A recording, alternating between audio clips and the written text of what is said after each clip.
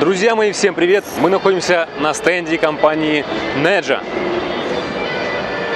Здесь представлен автомобиль Neja V, о котором вы уже знаете, мы делали обзор. Но пришли мы сюда не за этим, а пришли мы показать вам Neja U. Автомобиль с очень хорошими техническими данными и с богатым оснащением, но высокой ценой. Так вот, компания Neja в этом году выпустила Neja Pro. И они уменьшили, понизили цену. Сейчас этот автомобиль можно купить за 100 тысяч юаней. Там 99 с копейками. Конечно же, он урезанный. Конечно же, он не такой продвинутый и нашпигованный, как в топе. Но они убрали автопилот, они убрали круиз-контроль, убрали 360 градусов, убрали панорамную крышу, и автомобиль стал доступный. Сейчас здесь представлена версия в максималке. Это дорогая, это автомобиль за 160 тысяч юаней. Но, тем не менее, можно купить похожий автомобиль за доступные деньги. За эти деньги, 99 с копейками, вы получаете автомобиль, который проезжает 400 километров на одном заряде. Батарейка у него 54 киловатт-часов, но есть версия немножечко подороже, за 130 тысяч юаней.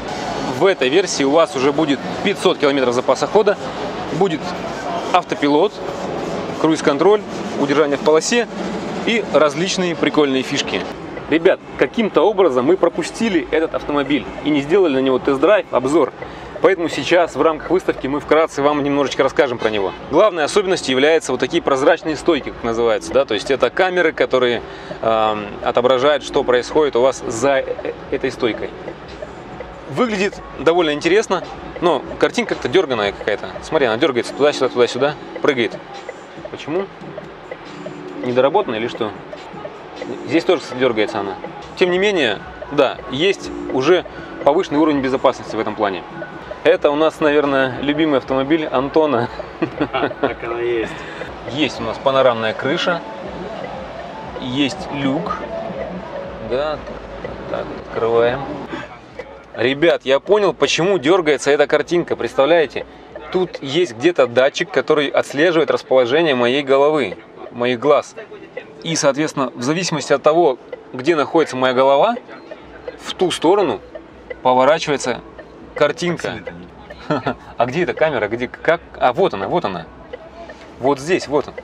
Встроенная камера, которая следит за положением моим. И то же самое происходит с правой стойкой.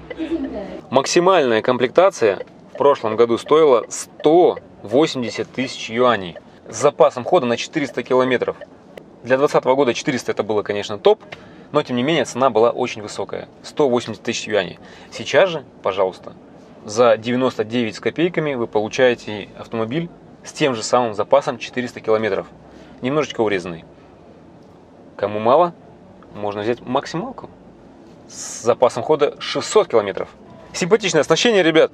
Три монитора у нас, да, вот, а, в принципе, автомобиль, я говорю, богатый своей начинкой. Все сделано в традициях 20-21 года все красиво. Интересная история. Через три месяца после выхода автомобиля Неджа, после того, как компания Неджа забрендировала свой, свое лого, вышел мультик с персонажем, с супергероем под именем Неджа, опять же тоже.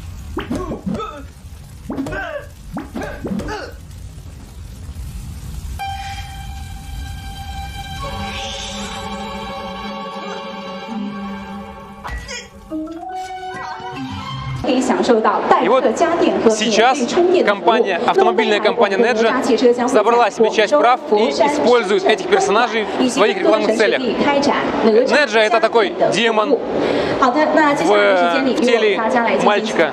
Вот конкретно красный, красный, да? И есть там еще какой-то белый демон. Запутанная история какая-то, но, но интересная.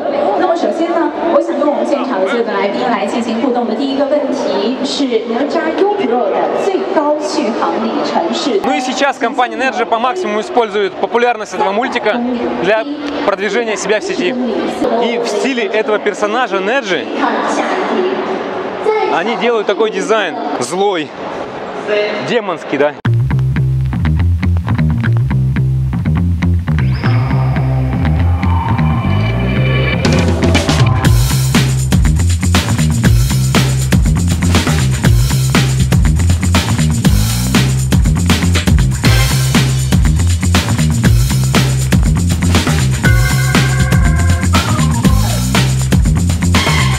И давайте посмотрим теперь на вместительность салона. Проверим задний ряд. Интересная особенность. Я сел, кресло настроилось под мои настройки. Я вышел, открыл дверь, кресло опустилось, предоставляя мне возможность комфортно выйти из автомобиля. И теперь я сажусь на задний ряд и кайфую. Место есть. Место есть нормальное. Так, а, а это что кнопка такая? Можно поднять, помыть там, да? Так, место есть. И что у нас там? Багажник-то вообще есть или нет? Багажник 540 или 460. А мы сейчас проверим. О! Заглянем в багажник. Посмотрите, сколько тут места, а? Вот что значит неполноприводный автомобиль. Точных цифр по багажнику нету. Примерно 500 литров в сложном и 1000 в разложенном, как сказал менеджер. На самом деле, вот на этот стенд я пришел не ради Неджи. Мне она не нравится. А мне нравится вон та машина. Ты посмотри. Да не это, Антоха, не, не это. Опять же, ты не то снимаешь. Вот эта машина, вот эта. Вот, посмотри. Неджа S. Это концепт-кар. Сейчас пока еще концепт-кар. В следующем году они его выпустят.